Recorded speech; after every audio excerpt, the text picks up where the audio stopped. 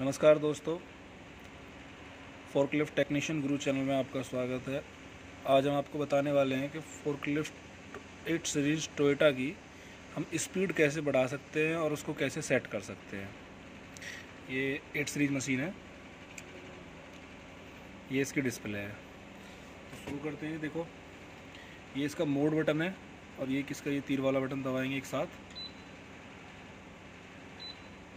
ये वाला button press करेंगे दो बार, और फिर ये बटन एक साथ। आपके सामने ऐसा इंटरफेस आ जाएगा डिस्प्ले खुल के। उसके बाद में हम ये वाला बटन दबा के इसको साइड करेंगे। यहाँ आ जाएगा आपका low speed speed limit speed alarm तो इसमें तीनों चीज़ें आपको बता देता हूँ मैं एक बारी। ये स्पीड लो है।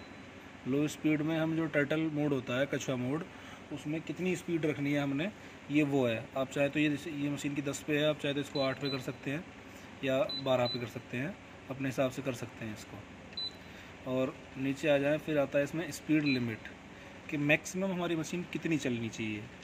इसमें दस सेट है, दस से बीस, बाईस तक हो जाती है ये।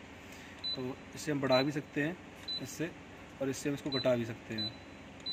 ये हमारी स्पीड लिमिट आ जाती है। इसको हम एक बार सेट कर दें तो इससे ज़्यादा मशीन नहीं बकती ना ही वो टर्टल मोड में और ना ही वो किसी और मोड में। नीचे जाता है स्पीड अलार्म इसको हम जिस स्पीड पर सेट कर देते हैं,